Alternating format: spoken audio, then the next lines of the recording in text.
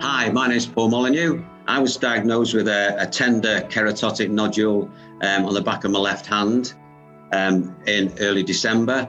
Um, in layman's terms, to everyone, it was a large, sore, ugly lump. Um, it was quite a shock because um, I had suffered um, a tumour on my left tonsil six years ago, which is now fixed. And I thought it was a case of, oh no, here we go again. so I was expecting the similar issues. Um, although obviously the back of hand being uh, uh, milder after effects, um, with this being my hand and not my neck. Um, but then the, the, doctor mentioned about brachytherapy. I've never heard of it before, and I advised of a, a very high successful rate um, of a treatment on skin skin cancer um, on this by this machine. So I thought, yeah, let's give it a go.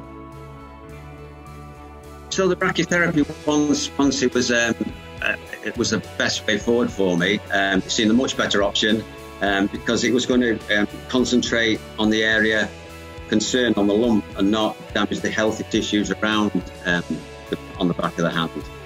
Um, so I had a hand mold made in December. This was to attach the machine. Um, and then in January, I went to Christie's in Manchester for eight treatments twice a day over four days. And they lasted 15 to 20 minutes. Um, hand was in a mold. It was connected to the machine. Um, I sat back while I delivered the radiotherapy. It was uh, quick, side effects were minimal. Um, and one month later, my hand was slightly red at the back, and then it formed into a bit of a scab.